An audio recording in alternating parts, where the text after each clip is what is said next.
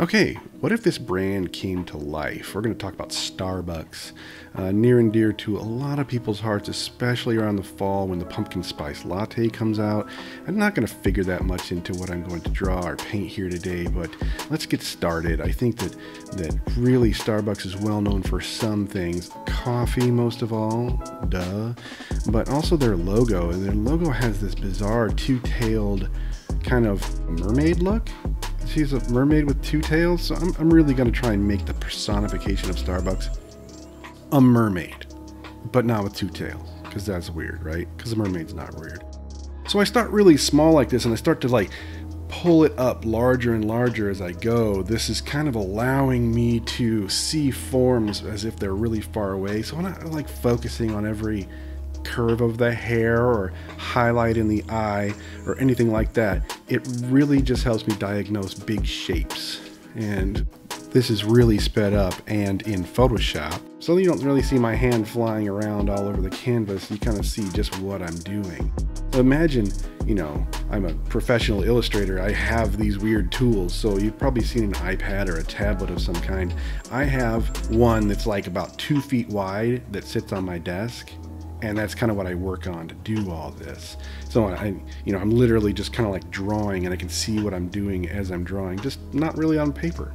I can kind of make it behave like paper and behave like a pencil. This kind of looks like a pencil sketch.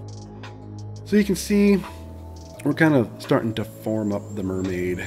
Um, it looks like a mermaid. It looks like she's smiling and she's holding a couple really nice, I think they're Demitasse cups of coffee. I'm not actually sure if that's the right word. But yeah, she's holding them. Uh, and she's going to be underwater holding them, which doesn't make any sense. I recognize that. The coffee would be all over the place. But I just think it was a cool visual because Starbucks is kind of known for like offering friendliness and some kind of higher end coffee, even though it's really not that high end. It just appears to be. So we got a cheerful kind of mermaid gal, and she is giving us coffee.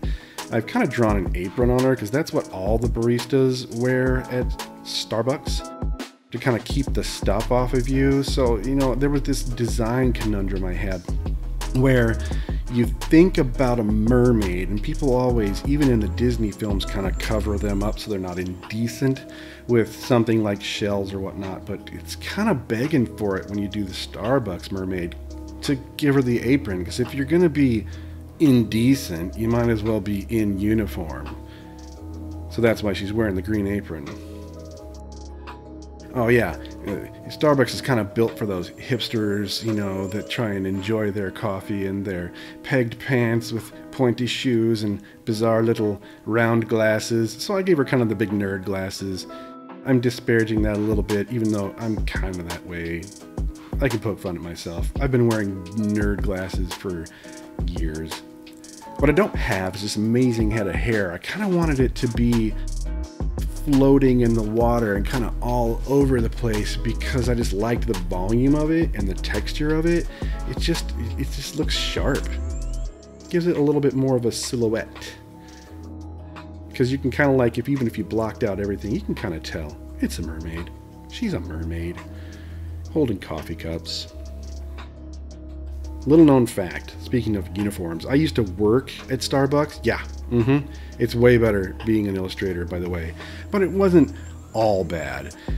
This was a few years ago, and I don't know if you've never seen me in person. I have a whole lot of tattoos on my arms. And so, evidently, back then, Starbucks wasn't really cool with a bunch of tattoos on your arms. So they would make me wear, as part of my uniform, a long sleeve black button up shirt. Now you're working with hot coffee over a hot coffee machine thingy espresso bar, so you're just sweating, and it's just horrible. And imagine on top of that, you're you're steaming milk and cream and putting it into people's coffees. And yeah, they're gonna enjoy that, but what you don't realize is your barista having splashed all of that all over his or her long sleeve button up shirt is by the end of the day going to smell just like rotten milk. Oh, was that hideous.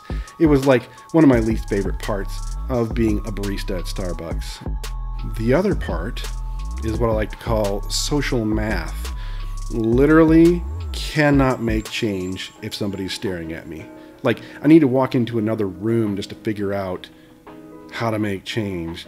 The, the cash registers would make those little calculations for you, and, and that's all cool, except for eh, all those times where they give you like the change differently than the stinking cash register like just calculated for you. And and some people can make those changes on the fly with math. No not me. I can't figure it out. You know what? I just want to throw all the money at them over the top of the counter and just here have this Let's talk about color theory. I'm choosing a green. That's what this is. The color wheel right there is, you know, kind of green, what we're looking for. Not a blue. Water is not blue. And so if I'm choosing a green, I want a color that's directly across from it on the color wheel.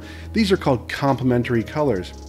And that's just going to allow these colors to really fly off the page. One of these times I'm going to do something with a little bit more complex color harmony than just complementary, where the two colors are right across from one another on the color wheel, and choose something just a little bit more complex so we can talk a little color nerdery goodness. There are two things that I super love visually about design, and um, one of them is color theory. I'm a little bit gone on that. And the other is typography. Super opinionated about typography. Comic Sans is an atrocity, and if you use it, you hate me. That is very clear, and everyone knows that.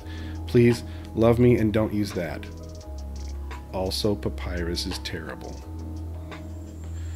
I could get gone on that for quite some time, and really, it's not part of like, it's not germane to the conversation here. It's, you know, we're looking at Bob painting a purple mermaid, and you might ask yourself, why did you turn her skin all purple? It's so that I could back that off and just introduce more tones and color into her skin. It was looking kind of ashen and boring and flat. So if I add a little bit of color in there, it can start to round out the forms. And nobody is purely one color or another. In fact, in the human face, you know, as you travel from top to bottom, you can have like blue tones around your chin and yellow tones in your forehead, and of course, those rosy, kind of pinkish blushiness down the, the very middle by your cheeks and nose. So, really, you can't just like out of hand pick something and go, you know, ham on that color. No, and here's a good example, you know, adding some tones. Like there is some pinks and some yellows and some greens in that tail that kind of round out that form and make it just a little bit more interesting to look at. The, the shadows typically wind up being cool colors, and cool colors are those colors that are like purple, uh, even that's a little warm, blue, they tend to recede from you as you look at them in a page. They tend to kind of go away from you. So if you put it into a shadow, an artist will put that into a shadow and it'll appear a little deeper because a cool color goes away from your eyes. It tricks your eyes a little bit. Uh, we're nearing the end of this illustration and I think I'm liking how it turns out. It's kind of grown on me. At first I was like, you're being silly you went right for the mermaid thing. That's a little bit on the nose, but I, I do think it works. I think it's recognizable. If you walked up on this, you'd be like, it's a mermaid that works at Starbucks, and she's underwater. And really, I don't know. I'm kind of proud of it.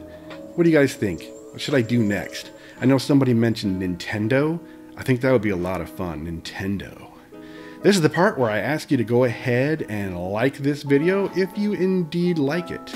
And if you like this video and maybe want to see more, then you should go ahead and hit that subscribe button. And if you've subscribed and for some reason don't check your YouTube feed every day, hit the little bell.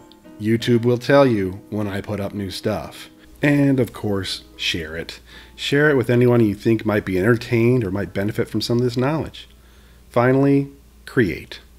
Create something today, even if it's just a better day for someone else.